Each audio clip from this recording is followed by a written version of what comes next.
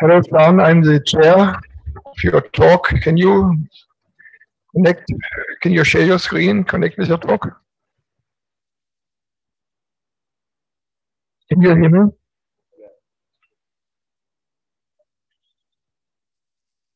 Um, yep. Can you you can see my video as well? There you go. Yes, uh, yes, we can. Okay. So can we start? Are you ready? Yes, I'm ready. I'm just going to make it full screen. That should still work. Very good. Okay, great. So I'm going to start now. Yes. Yeah. Hello, everybody. Uh, so let us start the afternoon session. We are sorry we had a very small delay because of some technical problem. The door was not opening, but uh, now luckily we succeeded. Otherwise, the locksmith would have come. uh, but in any case, uh, I'm uh, I'm very glad uh, and honored um, to uh, introduce the first speaker of the afternoon, Shahn Majid, and he will talk about quantum gravity on finite space-time. So you have 35 minutes plus five minutes for discussion, please. Okay. Thank you. Thank you very much. Um, yeah. So quantum gravity is something that people uh, has motivated a lot of people over the years. And uh, just want to explain to you that I don't necessarily know the ultimate theory. It could be string theory, it could be whatever you like. But the starting point is, is that on its way to, it must in some limit give GR. And on its way, we could expect that it has some kind of correction to space-time. And because it's a quantum Planck scale correction, you might expect that this would be non-commutative coordinates. So this is the quantum space-time hypothesis. Now, so that motivated the development of a kind of quantum geometry over the years. And so that's the formalism which I'll be using in this book with Beggs. And this doesn't discuss quantum gravity itself, it just discusses a generalization of Riemannian geometry, which allows the coordinates to be non-commutative, and it's uh, quite systematic. It's about 800 pages, and includes, in a particular case, uh, discrete geometry. It turns out that graphs are, are naturally non-commutative, even though the coordinates are commutative, the differentials are not commutative.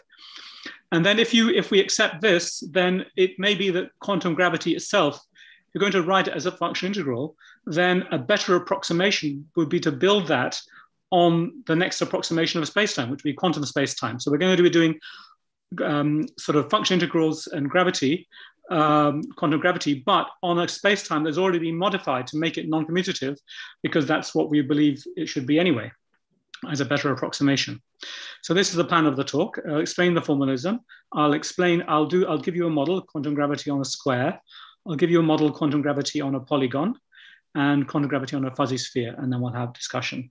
Um, just uh, mention that this paper here is uh, joint work with my uh, with uh, Argota Quiroz, and this uh, is joint work with Lira Torres. Um, okay. So um, I haven't got much time, so I'm going to zoom through the formalism a little bit, but you can find uh, everything in, uh, in, in, in, the book. So um, the idea is, is that you take replace the uh, functions on the manifold. You think of it as an algebra, a really degree zero part of an exterior algebra with different degrees. And uh, that's of course what we do in classical geometry. And the key thing there is a differential which increases degree by one. And you classically it would commute and it would obey the graded Leibniz rule. And then what we do in the quantum case is we let a omega zero, the algebra function, be any algebra over a field K. And we drop the requirement of being a, a, commutative or the exterior algebra being graded commutative. Uh, we particularly focus on the degree one part, those are the one forms. So what's inherited from associativity is, is that it's a bimodule, that you can associatively multiply a differential by a function. The map D goes from degree zero into degree one, and we expect that all the one forms can be built from, uh, from ADB. And for a connected manifold, this that, would be the kernel would be just the constant functions. And then we would extend this to all exterior algebras uh, all differential forms by taking the degree one forms and then having some skew relations expressed in some ideal I. So it's a little bit formal, but this algebraic way just encodes the exterior algebra on a manifold. So that's what we mean by differential calculus uh, on an algebra. It means it's exterior algebra. Now, the next layer of this constructive approach to quantum geometry is the metric. Now, you normally think of a metric as something like this on the right in, in, a, in brown. Uh, but this G mu nu actually had, lives in one, in, in, in one point in space which is shared between the two tensor factors. So really it's an element, G is really an element of omega 1 tensor over the algebra A omega 1. So mathematically that's what it is. The inverse metric is sends a pair of one forms into a function. So this it's a bracket and, and they're inverse to each other according to this. Now you read these diagrams going down the page. It's kind of fashionable thing to do. Uh, but this just says that this the, the round bracket and G are inverse to each other. Um, one corollary is that you get constraints on the metric that should be central. So you could consider more general frameworks where that isn't required. We won't do that in this talk. Uh, now, a connection um, should then be normally its connection is think of it as, as assigning to every vector field a linear operator. But we'll, we will leave the vector field um, unspecified. So really, Nabla has output in omega 1 here, where this omega 1, the first copy, is waiting to evaluate against a vector field. And then the usual properties of covariant derivative then translate into properties of Nabla, which are written here. The first line is the obvious one. It's the Leibniz rule. But because, because um, you can multiply differentials from the left or the right, we also want to have a right-handed Leibniz rule. And for that to make sense, we need to have some map to flip the, um, to flip the output of Nabla of, um, you see all the outputs here have to be on the left. But um, the thing which you want to evaluate against needs to be on the left. So you need some kind of flip map to make things consistent. Let's not worry about that. But um, sorry, connections that admit those things are called uh, uh, bimodule connections. Now, once you've got a bimodule connection, it extends to tensor products because um, we can apply it to one factor, apply it to the other factor, and we can use this flip to put the output of Nabla to the far left, where it would evaluate against the vector field on the far left. So in diagrammatic terms, this is what Nabla on a, on a two tensor would be. And so that now makes sense. So metric compatibility is that nabla G should be zero. So this is a very natural framework. We haven't really assumed it, we just assumed the bare minimum that any approach to non-commutative geometry really should entail one way or another. It may not entail it in an obvious way, but it should be buried in there. Um, the quantum Levi-Civita connection should be one that is torsion-free and metric compatible. So this is the torsion tensor. It's, think of it abstractly like this as a map. And then you've got the curvature abstractly as a map. So the curvature looks like this. It's got basically it's Nabla squared, reading down the page. So it has output in omega 2 tensor omega 1. So normally when you write a curvature, you've got the first two indices are, two, are really a two-form index, uh, or rather they're antisymmetric vector fields, which are to be paired against the two-form. Um, now, the Ricci tensor is the thing we need for physics. And um, so here we have a, like a working definition, not necessarily the ultimate definition. We just copy the approach in physics. With a Riemann tensor, we have to lift the omega 2 to an element of omega 1 tensor omega 1, so that now the output lives in omega 1 tensor omega 1 tensor omega 1, and then we can take a trace. Uh, so now this lifting map is something you take for granted in classical geometry. It just sends a two form into an antisymmetric pair of one forms or a sum of antisymmetric pairs of one forms um, which is how you might even think of a two form anyway. Um, so, and in our examples, it will also be anti-symmetrization eh, because our examples will be fairly close to the, uh, we'll take the Grassmann algebra for omega, for higher exterior algebra. Now, the once you've got the Ricci tensor, um, then you just contract it further with the round bracket metric to get the Ricci scalar, and that's an element of the algebra. So the great thing is, so this is like a formalism of general relativity, but the whole thing works over any associative algebra equipped with a bimodule of differentials. Um, so that's the formalism. Now I do want to spend most of my 35 minutes on the example. Um, so, so sorry for that, was a little bit quick. So now our example, first one example is going to be quantum gravity on a square. So um, I'm just, just for, you don't have to, but just for convenience, I'm going to identify the four vertices of a square as coordinates in Z2 cross Z2. So this is like zero, zero in the group Z2 cross Z2. But these are my, they're, just, they're just a way of labeling my vertices. In the same ways, it's useful to have the group structure of, R, of Rn, uh, even though it's, a lot of things don't depend on that. Um, now, the calculus on a discrete set, is really just functions on a set of four points. Um, so the calculus on any discrete set corresponds to a graph. That's a mathematical fact. Um, omega 1 corresponds to graphs. So here our graph, I'm going to specify that. So specifying the calculus means specifying a graph between the four points. So I'm going to specify a square. So that's my graph. And the, the one forms are literally spanned by the arrows, by the vector by a vector space whose bases are given by a label by the arrows in each direction. So there are two arrows here, two arrows here, etc. There are eight arrows. Uh, but it's quite convenient to organize them into things which are Z2 cross Z2 translation invariant, just like on the Lie group, it's useful to work with the less invariant basis of one forms. So, we'll, so there is a basis of one forms, which are E1 and E2. And um, uh, so there's two of them, which times the function on the algebra gives you eight. So there are eight, eight uh, one forms. Um, the, and they just Grassmann algebra with DEA zero.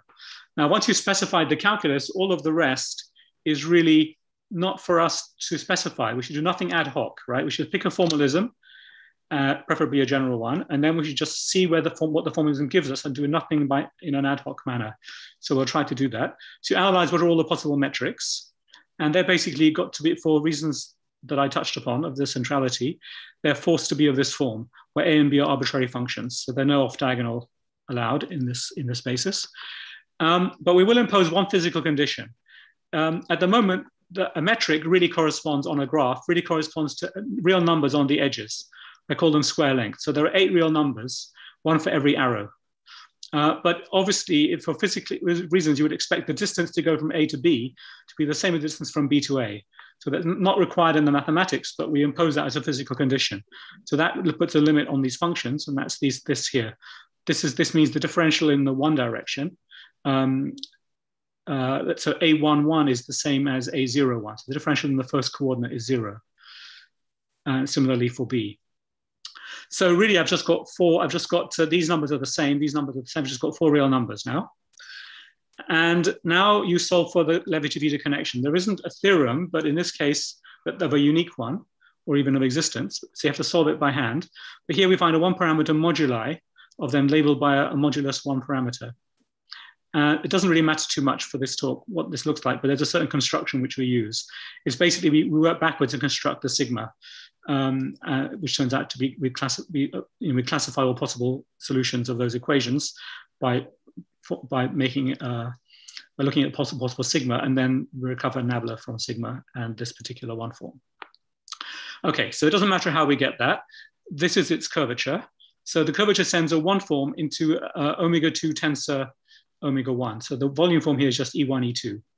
Um, that's the top degree form uh, in degree 2.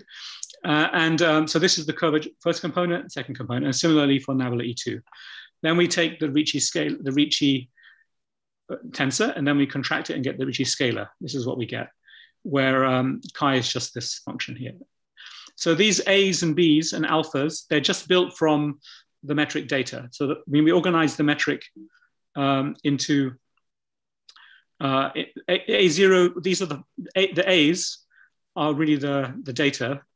Um, well, the A's, the, the, the um, there are two A's, two values of A here and two values of B here. So the A's and B's are the, are the metric. I've just organized them. So the A zeros and the A's are the lengths here, the B's are the lengths on the vertical edges. And I've just made functions alpha and beta from them. Um, so that gives you the, the Ricci, the Ricci uh, scalar.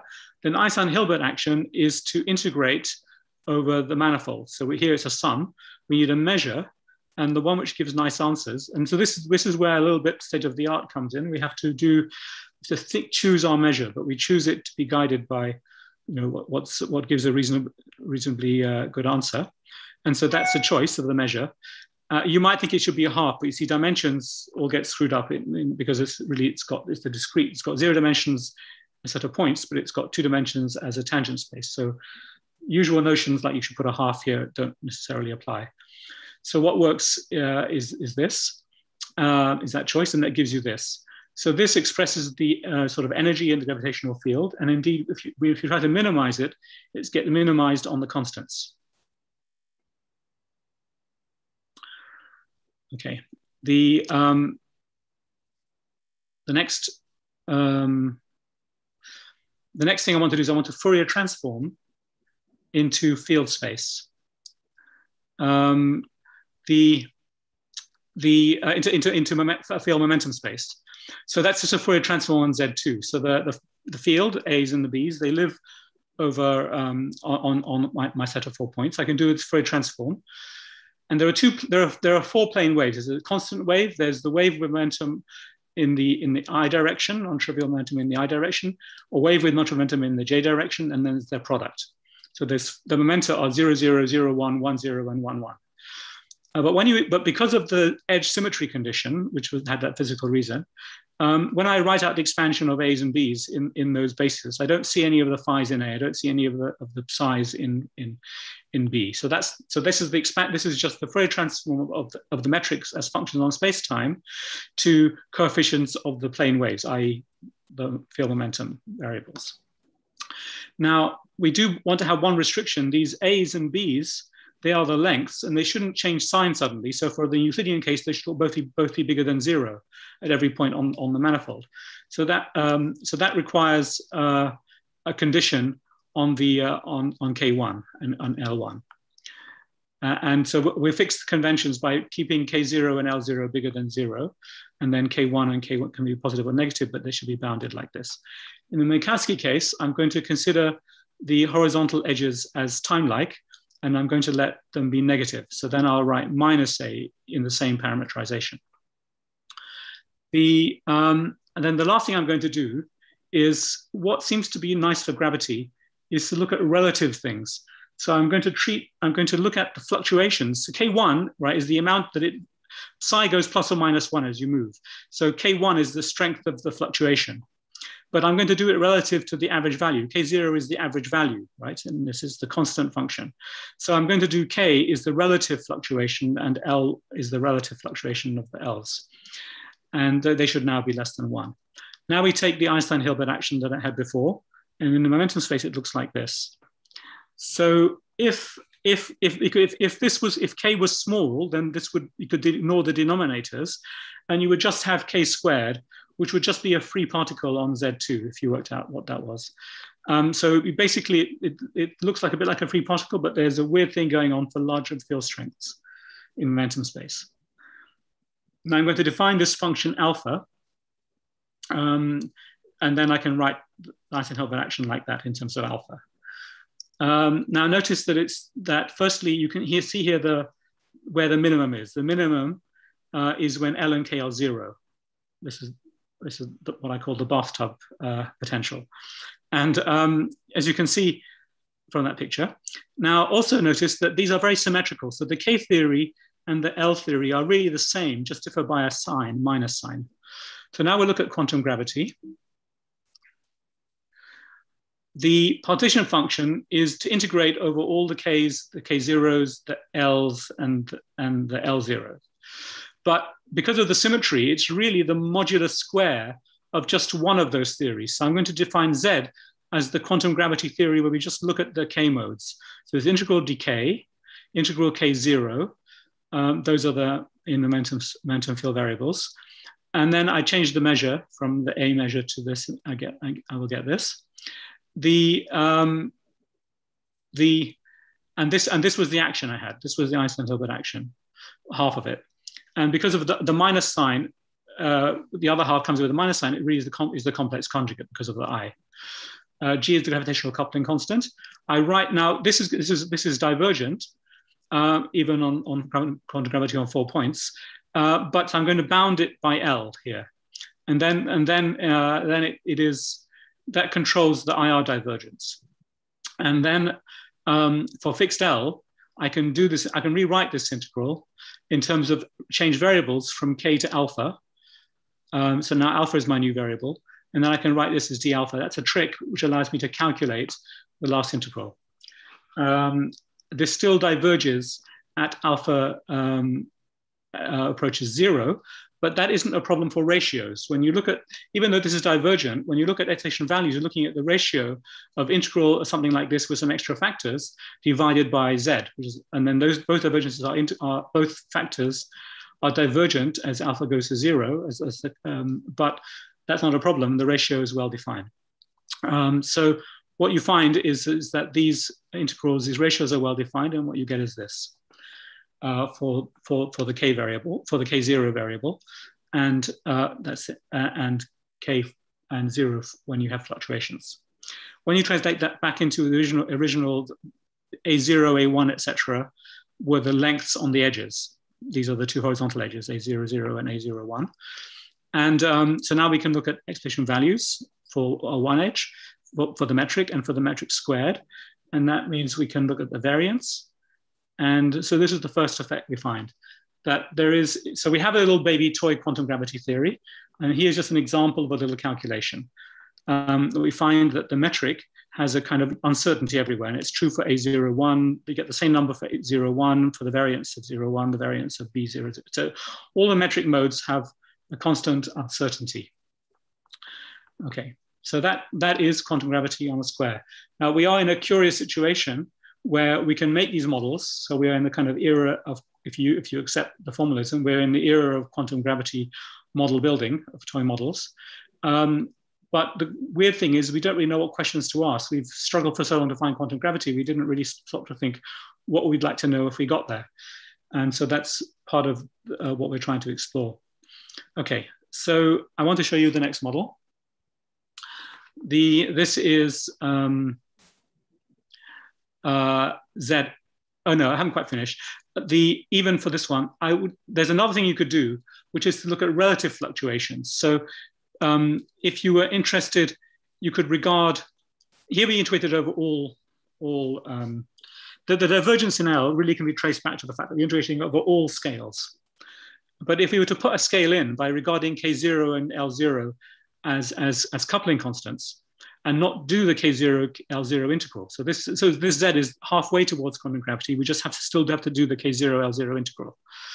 But, but now we can just focus on this, which is the which is the theory of fluctuations in relative to the K0 and L0. So if you fix the average value of the of the metric uh, in the horizontal and vertical directions, that's the theory we're doing. And that theory um, doesn't have those divergences that we had before coming from uh, the scaling of the metric. Um, so, uh, and you can just, and you can work them out. And what you find, I plotted the result for k squared here, which is like the propagator. And for, for, for large, for large k0, like large scales or small g, it's equivalent, um, we are over here somewhere. And the real part then is much smaller and really it's something imaginary. What you've got is, is i times this. And that is what you get exactly for a scalar field, uh, a, a, scalar field in this theory, if you were to do that. Um, so it behaves like a scalar field at large distances. Um, but for small distances in the other extreme, instead of being imaginary, it actually becomes real. The imaginary part goes to zero, and we get a, fixed value of a third for, uh, for, this, for this guy as g, as, as g goes to infinity or k0 goes to zero.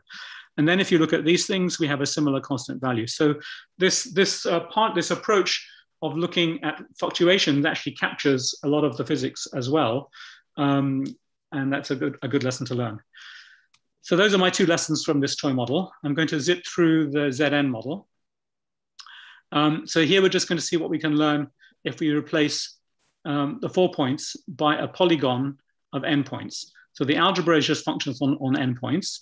The graph is the n-gon graph. And because we'll make use of the group, we'll put a group structure on it just for convenience. And that allows us to write down a left invariant basis, uh, E plus and E minus. Uh, and then they have these commutation relations, functions in E plus E minus, they, they change by, by shifting R plus or minus is a shift in the plus or minus direction. This is what R plus minus does and the partial derivative is given by the, the partial derivatives in the plus or minus directions. The Grassmann algebra for the exterior algebra. That's, that's all the input. Once we fix the input, we just analyze what are all the horizontal metrics, what are the connections, etc. So the metrics have to have this form. Uh, and edge symmetry imposes tells us that there's only one function, which is a, which is and a is just the values of the lengths on the edges. So there's a, a has has n values, which are the values of the lengths on the on the n edges. That determines the metric. There is a, there is a unique uh, a quantum Levi-Civita connection in this context, at least when n is bigger than four. Um, and, um, and, and it turns out to depend only on this ratio. So this is a at the next site divided by the value of a. So the lengths, how much the length changes, you go from the site i to the site i plus one, that's rho. And then, um, so that, it's like a derivative of the metric in some sense. And then s in derivative of rho. So that's the Ricci scalar. Now here's an interesting surprise. We integrate the Ricci scalar against a measure, and the measure we take is really the determinant of the metric. So we take A here, and um, and then we'll get uh, we, we get this, and that's really surprising. This this depends only on rho, of course. This is just the discrete Laplacian. This is just rho of i plus one plus rho of i minus one minus two rho i. So this is a discrete Laplacian on a circle. And so what we get is exactly a scalar field on a circle, except for one key thing, which is what makes it gravity, which is that this rho is not complex valued, it's not even real valued, it's real bigger than zero valued. So that's the, because these were all positive lengths, and this was a ratio of positive lengths. So let's just show you what quantum gravity looks like quickly. So the, the, the thing we have to decide again is what is the measure? Um, and so you, there are different approaches. You could say measure, you could take the measure to be DA0, DA1, DA2, etc. You might do that if you were thinking um, uh, in conventional terms. But here, that this space of rhos has a constraint. So they're positive numbers, but with a constraint to be one. That constraint manifold has its own natural metric. So what we did in this paper was we took that the metric on that space as to determine its measure. So that so we take root square the determinant of this metric. And so that gives you this measure of the rhos. Um, so for n equals three, for example, this determinant looks like this. So our function integral uh, looks like integral d rho zero d rho one with this measure. Um, and then this is the Einstein-Hilbert action. This was the scalar field, if you want, except that rho is going from zero to infinity, not, not negative. And, and that's critical to get these answers. So uh, now for large G, what you find is very similar behavior to what we had before. The, the variance of the rhos is, some, is constant independent of I. Um, so you get a uniform uncertainty in the metric. Uh, okay, so you can also do the relative theory. And what's quite fun to do here is not, is not to do the difference. You can do the difference, but what seems to be more natural is to look at the ratio uh, against the geometric mean. So if you like, we take the logarithm of our variables and then, and then apply the conventional formalism. Um, so in, in, in these terms, we, we look at the geometric mean of the AIs, and then we, um, and then we let B be, be the fluctuation relative to the, to, the, to the mean in a multiplicative sense. Now they, they lie on this constrained manifold. So we take, we do, and the metric in terms of the B's, the, the Einstein-Hilbert action in terms of the B's looks like this. So for example, for, and uh, now we've taken the other philosophy of, of just the A zeros, uh, the DA0, DA1, DA2, that's our measure. And, but then when you, when you look at this change of variables, we have this, and then we leave out the dA integral, which of course is the divergences. So the relative theory, you leave out the average value integral, and then we just got this theory. And then these are the two point functions in that theory. Um, so they become a sign in, in large N, in large N. So, okay, so these are, if you think about it, these are somewhat reasonable. The, um, the correlation functions uh, uh, are maximum when the two sites are next to each other or even on top of each other. And then they get maximum, they get smallest when you're furthest, when you're around the other side of the, of the polygon. And then obviously they get back to one because of the, of the, of the um, cyclic nature.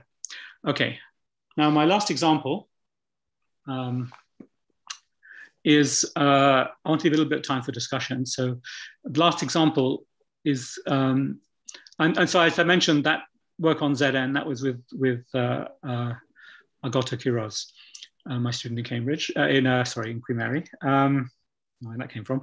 Um, and uh, um, this other work is with my student. Yes, someone want to say something? Yeah, you have five more minutes. Yeah, thank you. I will, that's fine. Um, is, is with uh, Lira Torres. So now the fuzzy sphere is just angular momentum algebra. Uh, this is a quantization of a sphere that goes back to the 70s, um, but uh, with, a, with a quadratic Casimir relation. Uh, so the calculus is the new ingredient, and there's a we, we, we choose a certain calculus but has a central basis, uh, so they commute, and then we write the d looks like this, and then the commutation, they're Grassmann relations, and the D looks like this. So we work with that calculus. Then the metric in, the, is, in those terms is just given by a real symmetric matrix. And um, the quantum Levi-Civita connection exists. There's a unique one in, under certain assumptions, which is given by these Christoffel symbols. Work out the curvature, work out the Ricci scalar, Ricci, Ricci tensor, Ricci scalar, and this is the answer. So in terms of the metric, the Ricci, Ricci um, scalar curvature is the trace of g squared minus a half trace of g squared divided by the determinant. So that's a nice simple answer. So that's going to be the quantum gravity theory. So now we integrate overall. Now there's a measure in the, we have to integrate over the fuzzy sphere, but that just means you find an integral of one. And because the, the Einstein-Hilbert action doesn't have any coordinate dependence, uh, because the GIJs didn't have any coordinate dependence, uh, it just, we can just, just assign a number we like, and we'll just assign det G to be to, for the measure here of integration on the space time. Now we also have to have a measure on the space of metrics. And here, the space of three by three um, um, symmetric um, matrices, positive definite matrices is a symmetric space. It has a natural structure, has a natural metric on it um, with this measure, with this metric. So that gives you a measure for integration. So now the quantum gravity theory looks like this. We take the, that, that formula I told you for S on the previous slide, and we integrate it with this measure. So this is the measure, um, and this is the action.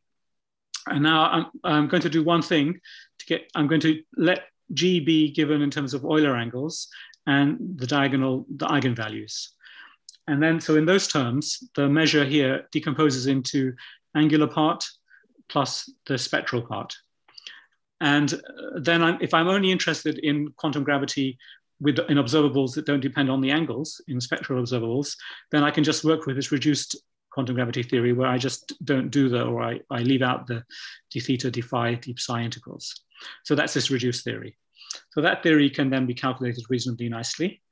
And, uh, and here's some answers. And I haven't got, I've run out of time, uh, I will have run out of time. So let me just say that um, the, uh, the, we get similar phenomena. These expectation values can be computed. Here it's quite mathematical, uh, and we have a kind of constant variance. Okay. Um, so I've just got maybe three minutes just to say, just to wrap up. So there are a lot of, so what I want to tell you is, is that we do have quantum gravity models now, as opposed to matri- uh, lattice calculations. These are not approximations. We're just taking the view that geometry is a non-commutative one, and we're looking at a finite non-commutative geometry. Um, so it's not considered as an approximation for anything. Uh, but obviously you can have other models we looked at black hole models with fuzzy R, uh, R2, uh, fuzzy spheres and discrete and, and polygons, etc. Um, you can, I think I haven't got time for quantum geodesics, but there's a whole theory of quantum geodesics. Let's just go straight to particle physics, given the audience here. Um, I just want to mention this because I mentioned in the abstract. So Connes has an idea to apply particle, uh, this kind of finite quantum geometries, like what we've been doing, to particle physics by tensoring space-time with a finite quantum geometry. And then in his approach, he his approaches it through a Dirac operator, what he calls a spectral triple. There's a finite one on the finite manifold, plus a standard one on the on the on the Minkowski space. And then he allows fluctuations of, of the, this is the direct sum of those two essentially. He allows fluctuations, and these fluctuations within his axioms uh, encode the gauge fields and the Higgs field. And then he writes down what he calls the fermionic action and the spectral action. This contains the Higgs potential, and also if, if you do it over a curved spaces, contains gravitational Einstein-Hilbert action. Um, okay, so that's his formalism. But now, think about the reason I want to, what I want to end with is just the following question: When can d finite on one of these algebras actually be realized in terms of a quantum geometry the way we've done it? In other words, with a, metric, a connection, um, etc. All of those things are buried inside. So not every Dirac operator can be realized geometrically. That's an interesting question to which we have some answers in these papers. And then if you could, if you could realize it geometrically, what does that condition of geometric realizability imply for in this context? Because whatever you choose for D determines your particle spectrum uh, in, in Connes's formalism. So we'll get constraints on, on the standard model particle physics from the geometry of this, of this finite part. And we get a better understanding of the geometry if we ask for it to be geometrically realizable. Okay, that's where I'll stop. Thank you.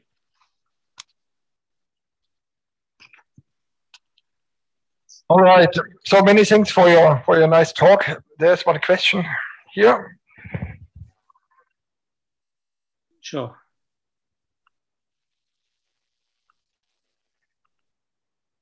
Hi, Shahn. Thanks for the nice talk. Um, I have one question. So if I understood you correctly, in all the examples that you went through, in particular the one for the fuzzy sphere, the metric that you used was just so it was a three times three matrix of constants, right? That's right. And the reason for that was right back in the very innocent looking axiom here, um, which was that the metric has to be central. It's not an axiom, it's a consequence. So people say, why to be central? Well, it doesn't, we didn't ask it to be central, but just requiring a, a, a metric and a bimodule inverse forces the metric to be central. And then in our example, for the metric to be central, because it's a central basis, if that is going to be central, then the coefficients have to be central as well. So if that's going to be central, then the coefficients have to be in the center, and the center of the fuzzy sphere is a constants. So yeah. that's the reason. Yeah, I understand. But of course, when you talk about gravity, you really want to have extra metrics. So is the formalism flexible enough to accommodate it somehow? Yeah, yeah. So you know, if you like, this is going to be like a, a, principal sector of the theory, but there will be other fields probably which will, which you know, you have to. My my approach to this is to write down the formalism and then see what you get. And then we should think it with the formalism, but we should do it in a systematic way. So at the moment, there isn't a systematic way to relax that bimodule condition, but you can ask for an inverse that's not a bimodule inverse, but then you can't contract things the way you're used to. You can't contract a two tensor to get a one to get you know a zero tensor if, it, if, if it's not a bimodule map. So something's going to have to go. So there's kind of obstruction. So at the moment, the situation is a small amount of non-commutativity changes, kills, forces all those those very modes that vary on the sphere in the metric to be killed uh, but it's a consequence of a small amount of non-commutativity. Just as a, you know, just like existence of a single monopole changes, you know, if you go back many years, you know, it, it's just a con- mathematical consequence. But I agree that we, would hope that either, you know, it, it, could be that in, in some deep quantum gravity limit of the theory where this exactly applies, um, it's really true that all those modes get, get killed, get pushed out by the non-commutativity. Or it could be that there's a more general formalism that we haven't yet found. Okay. Yeah, more question. Call for audience.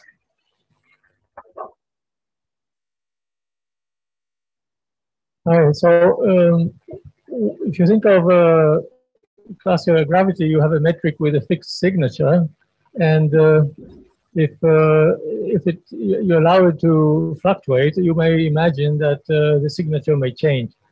Now, yeah. in your discrete approach, uh, you have imposed uh, the analog of having a fixed signature, I believe.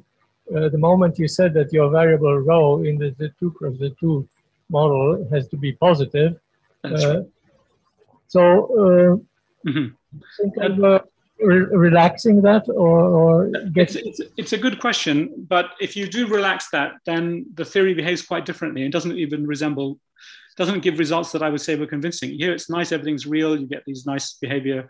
Um, so if you, uh, I, would, I would say it's worth exploring, but you have to explore it with care because you wouldn't want to just be wild. You would, you would what you would like is something like, you know, a controlled transition. You wouldn't, um, and let me just say, yes, you, you should do that, but you want some way to have a, to, to force it to be positive most of the time or something like that because you know the real world does have uh, positive values. So you need to have some mechanism for breaking the symmetry.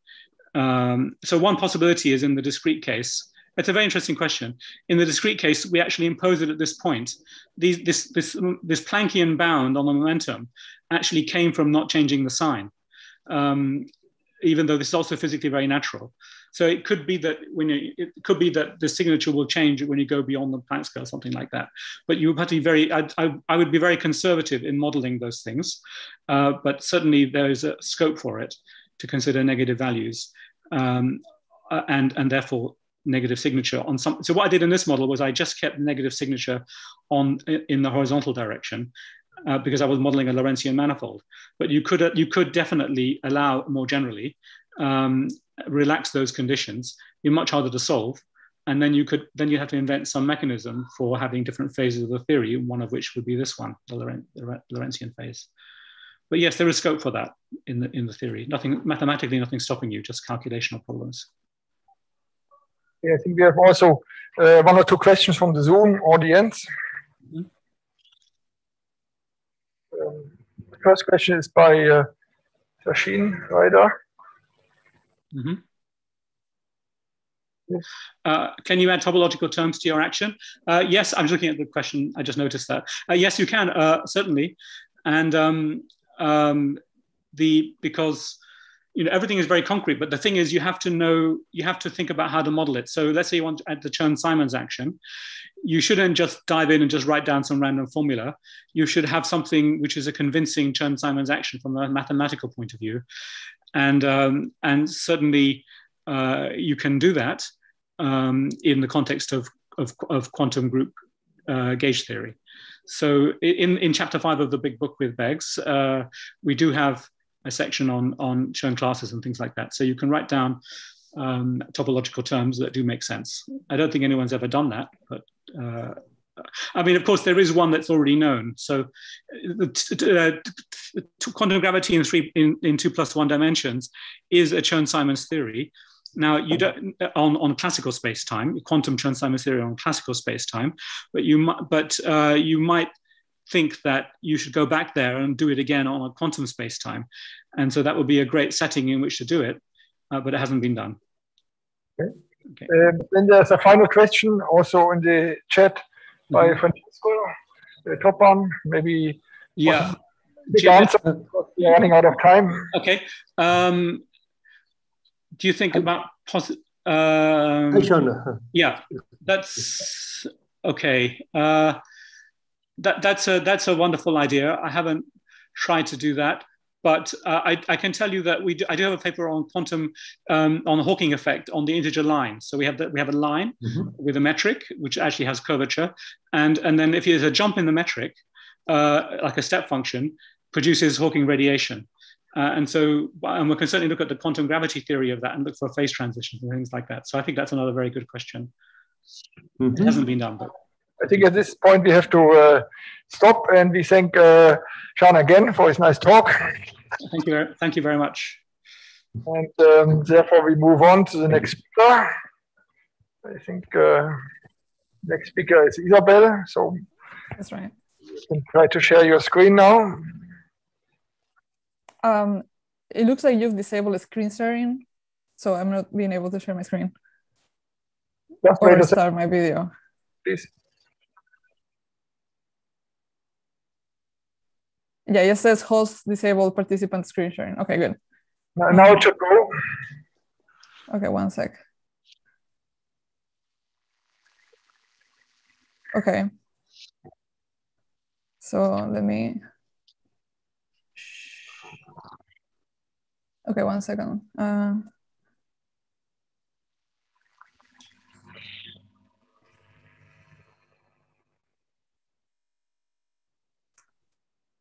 Okay. I think you should be seeing my screen right now. Isabel? Okay.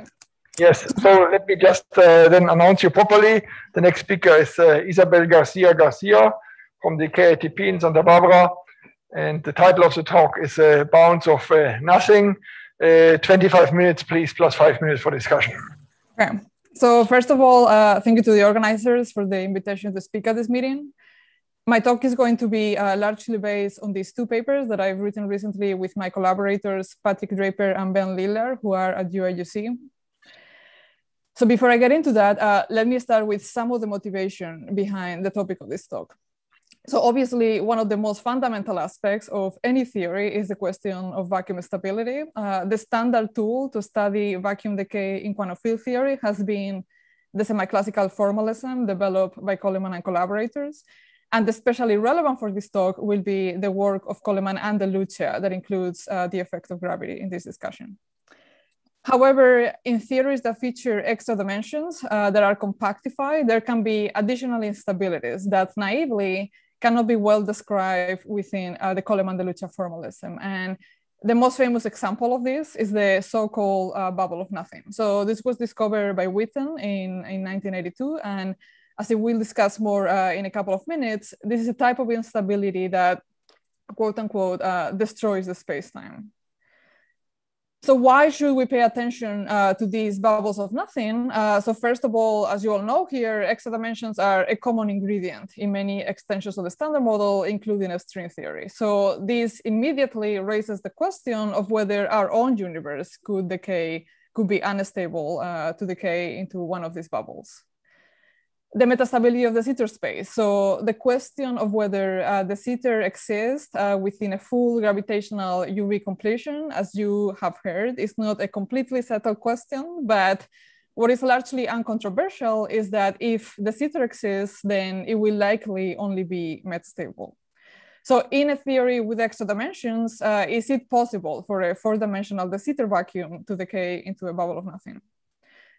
More generally, uh, if bubbles of nothing are indeed a generic instability of theories with four-dimensional Minkowski or Sitter vacua, then this decay channel could play a very important role in the physics of vacuum selection, as for instance, would be relevant in the context of the string landscape. So in this talk, I am going to focus on identifying what are some of the necessary conditions for bubbles of nothing to be possible in, in realistic models. So specifically, I will be focusing on extra dimensions that are stabilized. So I will assume that there is a stabilizing potential for the modulus and that that potential is stabilized at a positive value of the, of the vacuum energy. So in particular, I will discuss how to include a potential for the radion when analyzing this class of instabilities uh, and what the conditions are on that potential for, for bubbles of nothing to exist. I will explain how uh, the relevant instanton in these cases can be described as an intermediate object between Witten's bubble and the more familiar bounce of Coleman and DeLuccia. And finally, I'll discuss uh, the effect of a stabilizing potential, crucially on the decay rate of this instability. And I will pay special attention uh, to what happens in the limit where the four-dimensional CC uh, becomes, becomes very tiny. So people have found uh, bubble of nothing solutions in the context of flux compactifications in, in six dimensions before. So in this sense, these papers provide an example proof that bubbles of nothing can be compatible with stabilized modulus. Um, our focus on these papers uh, is complementary to this approach in that we are not interested in finding or constructing uh, bubble solutions in specific constructions, but rather trying to assess how generic uh, these solutions are, and especially um, on studying the, the effect of the potential on the, on the decay rate.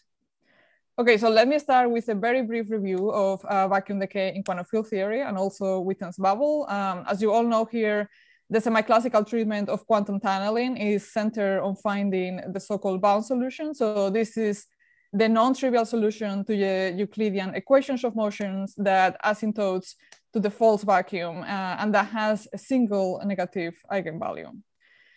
In the absence of gravity, it is possible to show that the bounce solution is O4 symmetric. So it only depends on the O4 symmetric combination of the Euclidean coordinates. And our job, therefore, is to solve the equations of motion together uh, with the boundary conditions, which are that the solution asymptotes to the false vacuum and if we want a non-singular solution, that the first derivative at the center of the bounce uh, is zero. The Euclidean action of the bounce uh, tells us about the decay rate of the false vacuum. In particular, it directly gives us the corresponding tunneling exponent. Moreover, the analytic continuation back into a Lorentzian spacetime gives us both the initial boundary condition for the nucleation of bubbles of true vacuum and also their subsequent evolution after, after nucleation. Including gravity, and this was done in this paper uh, by Coleman and DeLuccia, requires uh, now treating the metric as a dynamical degree of freedom. Luckily, the O4 symmetry of the bounce restricts our attention to four-dimensional metrics that can be written uh, in this rather simple form. So the only additional degree of freedom is this scalar quantity rho that corresponds to the curvature radius of, of the unit three sphere. And itself, rho is only a function of the O4 symmetric uh, Euclidean radial coordinate. So for a real scalar field that is minimally coupled to gravity, both the scalar and Einstein equations take uh, this rather simple form. Uh, so for example, the solution to these equations that corresponds to the, de Sitter false vacuum is given by phi equals uh, its value in the false vacuum and rho, uh, the curvature radius of the three sphere again, uh, is just a sine in these in the CDL coordinates. And this little L here is just uh, refers to the size of the cosmological de Sitter horizon. So the changes that come from introducing gravity are on the one hand quantitative. So for example, uh, for de Sitter to Minkowski decay uh, in the thin wall limit, the tunneling exponent now receives additional corrections uh, that are suppressed by appropriate powers of the Planck scale. But the changes can also be qualitative. So for example, uh, if the decay is from Minkowski to anti-de uh, there is a special value of the difference in energy densities between the two vacua for which the tunneling exponent uh, becomes infinite. So gravity is capable of stabilizing certain vacua that would be unstable in the, in the absence of gravity. So already the simplest example of a real scalar field that is minimally coupled to Einstein's gravity illustrates how gravity is an essential ingredient in, in any treatment of quantum tunneling. That the effects are not only quantitative, but that there can be also very important uh, qualitative surprises. And this is even more so in theories that contain extra dimensions. And probably uh, the most surprising example of this is uh, the bubble of nothing instability that was discovered by, by Witten. So Witten's bubble is an instability of the purely gravitational Kaluza-Klein vacuum um, in 4 crosses 1. And I am going to refer uh, to the radius of this circle um, as capital R. So this vacuum has a non-perturbative instability and the relevant instanton is the five-dimensional uh, Euclidean Schwarzschild solution, which is given by, by this metric. So notice that uh, the Schwarzschild radius is the same as the asymptotic value of the radius of the fifth dimension. This is necessary for the solution to be smooth. Um, and for Euclidean black holes, um, the, the Schwarzschild coordinate, little r, uh, only spans the range going from capital R um, out to infinity. So unlike their Lorentzian counterparts, uh, Euclidean black holes have neither an interior region nor a singularity. So in the near horizon region, uh, it is uh, convenient to define a new radial coordinate and a new angular coordinate in this way. And this allows us to write the five-dimensional Schwarzschild metric in this form. So we have an R2 factor uh, as well as a three sphere with curvature radius uh, capital R. So the 5D uh, Euclidean Schwarzschild geometry is completely smooth, okay? So asymptotically for large uh, radial coordinate, it looks very much like the false vacuum, so the cylinder uh, that I was showing in the, in the previous slide. And then in this near horizon region, it has this characteristic uh, cigar-like shape. Okay, so I've told you about the instanton that describes the decay of the Kaluza-Klein vacuum, but I haven't told you about uh, what that vacuum actually decays into. So as usual, the way to find this out is by analytically continuing our Euclidean solution back into Lorentzian signature. And in the coordinates we're working with, uh, this is done by rotating one of the angular variables into the complex plane. So this gives us the space-time to which the KK vacuum decay. So what is this uh, space-time? So again, asymptotically, after um, a coordinate redefinition, it is trivial to see that this is precisely the same as the original uh, KK vacuum. However, unlike the original vacuum, this new spacetime only exists for values of the, uh, of the Schwarzschild radial coordinate that are larger uh, than the Euclidean Schwarzschild radius, okay? So this new spacetime looks very much like the original false vacuum spacetime, except that uh, a hole or a bubble has appeared inside of which uh, the spacetime no longer exists therefore uh, this name of, of bubble of nothing for this for this type of instability. So initially the radius of this bubble is the same as the radius of the extra dimension in the false vacuum.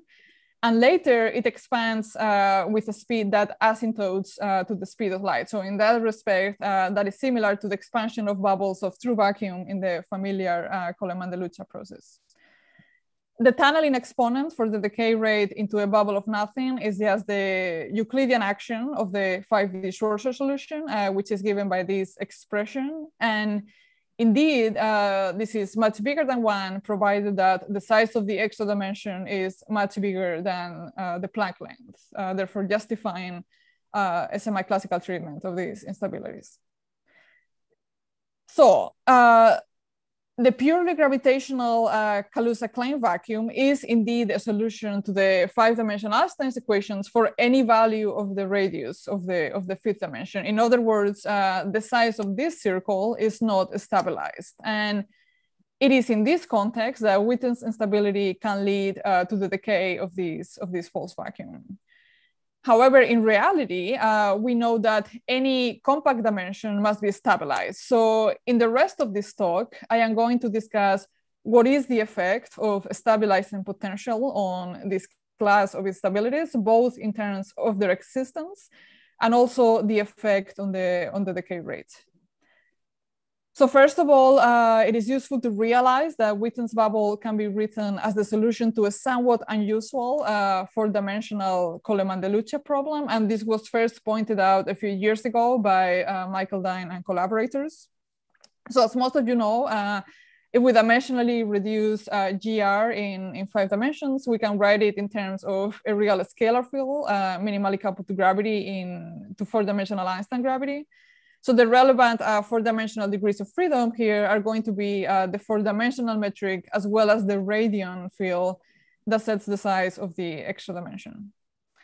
And it was noted in this paper that Witten's bubble can be written as a solution to the four-dimensional Coleman-de equations with a vanishing potential for, for a scalar field. So the O4 symmetric uh, Coleman-de coordinate, xi, is related to the, to the Schwarzschild radial coordinate formally uh, through this expression.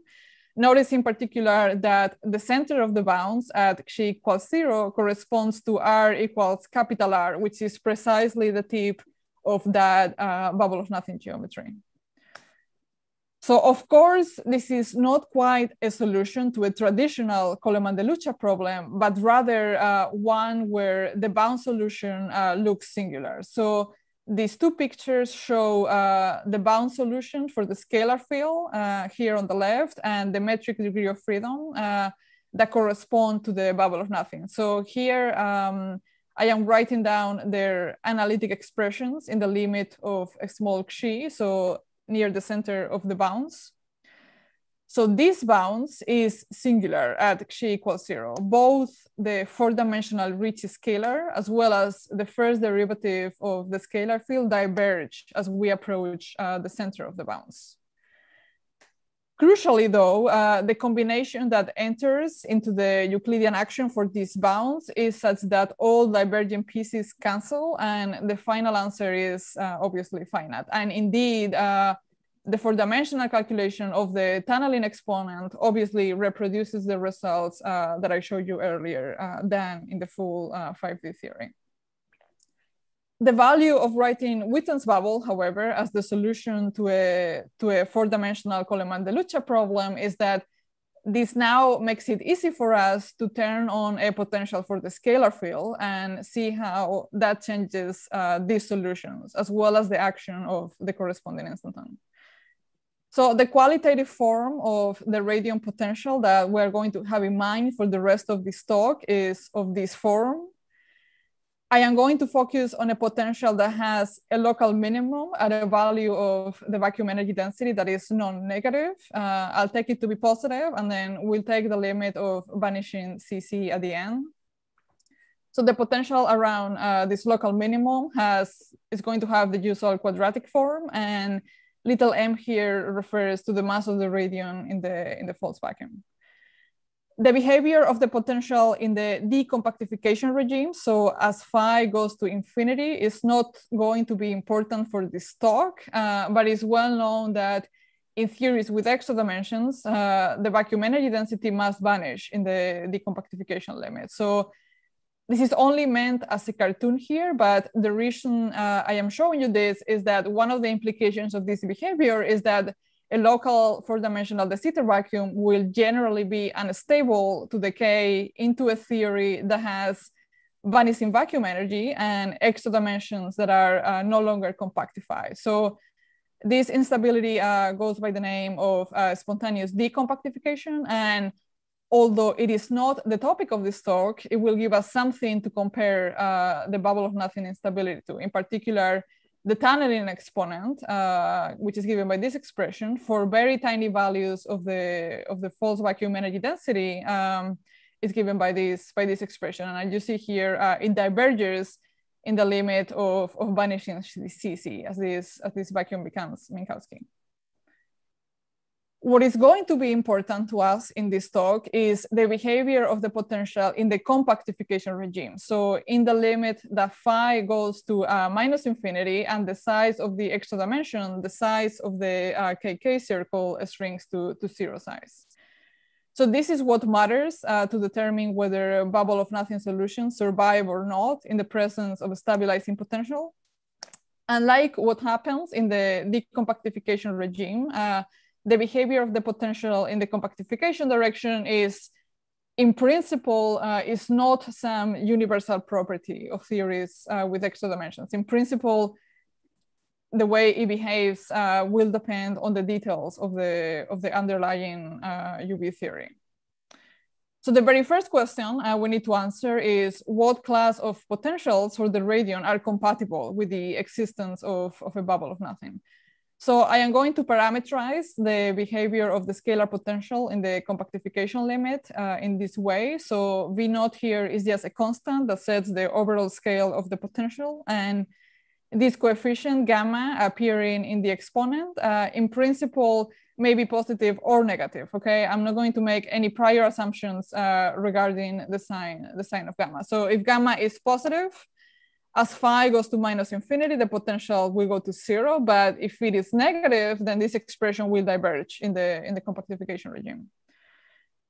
So if I now look at the uh, Coleman-DeLuccia equations with a potential for the scalar field, uh, and let me focus on the equation for phi, then this right-hand side for a potential that has this form uh, evaluated on the bubble of nothing solution is given by, by an expression like this, okay? On the other hand, uh, both terms on the left-hand side uh, grow as one over xi squared near the center of the bounce. So if this uh, right-hand side either vanishes or at least diverges more slowly than the terms on the left-hand side, then we will know that at least solutions uh, with boundary conditions at the center of the bounce, like those of the bubble of nothing, are possible in the presence of a potential. And it turns out that this is true, provided that our exponential coefficient gamma is larger than, the minus root six. So bubble, yeah. Is there a question? Um, there are five minutes left. Okay. Okay, so uh, bubble of nothing boundary conditions are always possible if gamma is positive. Uh, this should not be too surprising. Uh, remember, uh, when gamma is positive, the potential goes to zero in the compactification limit. Uh, so we might have guessed already that uh, this type of instabilities would survive in that case. But it is also possible for certain values of gamma that are negative, okay, up to minus root six in particular. And these negative values of gamma, as I said, correspond to potentials uh, that go to infinity in the in the compactification limit. So curves like this. Okay. In fact, uh, the, the boundary conditions at the center of the bounce are a bit more general than those of uh, Witten's bubble. So to see this, uh, notice that there is not just one, but rather a one parameter family of uh, bubble of nothing solutions to the Coleman-DeLuccia equations in the absence of a potential for the scalar field. Uh, and I'm calling the, the relevant parameter here eta, which in principle can be any positive uh, real number. So, and for Witten's bubble, uh, we have been taking eta that corresponds to eta equals to one. In fact, uh, when the potential is strictly zero, uh, it is easy to show that the only effect of this uh, eta parameter is to rescale the full five-dimensional metric by a constant uh, conformal factor. So the only thing we're doing in that case is changing the five-dimensional Planck scale by an overall constant. So in fact, in the absence of a potential for the radion, uh, we can take eta to be one uh, without loss of generality. When there is a potential, however, uh, the bubble of nothing solution will only be uh, an approximate solution to the equations of motion in some finite region near the center of the bounce, okay? In this case, uh, the meaning of this additional parameter, eta, uh, becomes, uh, becomes physical. And the best way to see what it means is to look at the five-dimensional metric near the center of the bounce. Uh, and we see that eta appears as a rescaling of the radius of the three sphere uh, of the near horizon geometry. So eta is parameterizing uh, a mismatch between the radius of the bubble of nothing, which is given by the radius of the near horizon three sphere and the asymptotic radius of the Kaluza-Klein circle uh, in the false vacuum.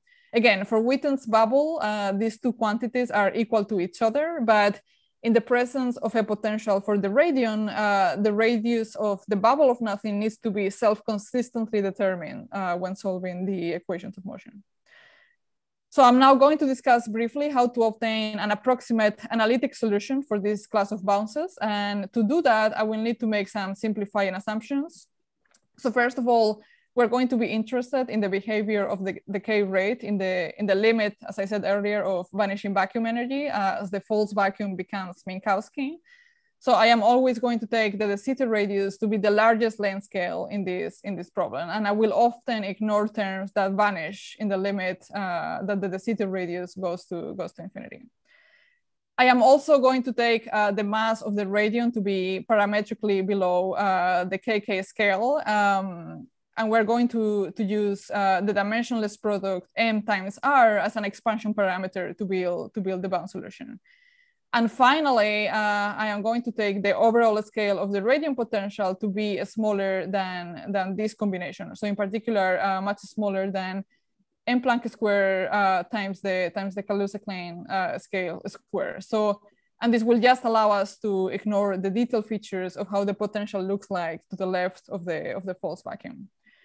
So I want to emphasize though that none of these assumptions are necessary for the existence of these solutions. Uh, in fact, they are not even important for the qualitative features that I am going to discuss at the end, but they will make our life uh, a little easier, okay? And as usual, uh, when finding uh, analytic solutions, um, you can typically only do so under, under some assumptions uh, in some regions of parameter space. And I just want to emphasize that we do relax these assumptions uh, in the in the numerical analysis that we present in in our second paper. Isabel? Yeah. Please wrap up now. Yeah, I, I think I can wrap up in, in about three minutes. Um, okay. Okay, so under these assumptions, uh, the bounce solution remains very similar to the bubble of nothing, well into the regime of large rho, meaning uh, rho larger than the Kaluza-Klein radius. Uh, in this regime, uh, rho grows like linearly with Xi, and the solution for the scalar field as a function of rho is given by, by this expression. So assuming that eta uh, is not one, but a number close to one, and this assumption will be justified uh, in the next slide, then the solution remains very much like the bubble of nothing, um, um, very close to, until phi is very close to its value in the, in the false vacuum. Once in that regime, uh, we can actually just solve the equations of motion with the form of the potential that is appropriate for the false vacuum. And we can find the solution in terms of um, Bessel functions. Okay, here C is just uh, an integration constant. So for values of rho much smaller than one over m, the solution looks uh, very much like um, the bubble of nothing, like you would expect. But for rho much bigger uh, than one over m, this function just falls exponentially and phi asymptotes to its value in the in the false vacuum. Similarly, as phi approaches its value in the false vacuum, uh, rho also transitions to the, to the familiar expression that is appropriate to, the, to match the, the de Sitter false vacuum. Demanding that the solution uh, remains continuous as it transitions from the bubble of nothing to the near false vacuum behavior allows us to obtain an analytic expression for the parameter eta that, as I said earlier, parameterizes the radius of the, of the bubble of nothing. And Yes, analytically, this expression looks like this.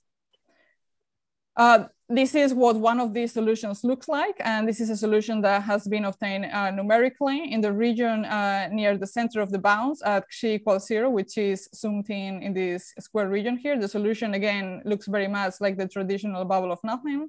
And then asymptotically, uh, the solution approaches uh, the familiar uh, behavior of the, of the, de Sitter false vacuum.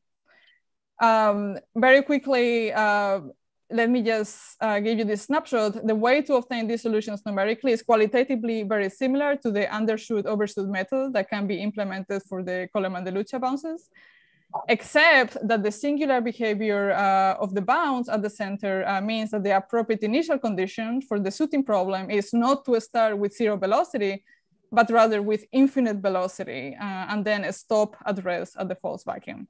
You can ask me questions about this later on as I don't have a lot of time very last thing I'm going to mention in the last uh, minute I have. Um, so I've told you what these solutions look like. Now, let me just tell you the effect of the potential crucially uh, on the tunneling exponent. So there are two different types of contributions to the action of these instantons.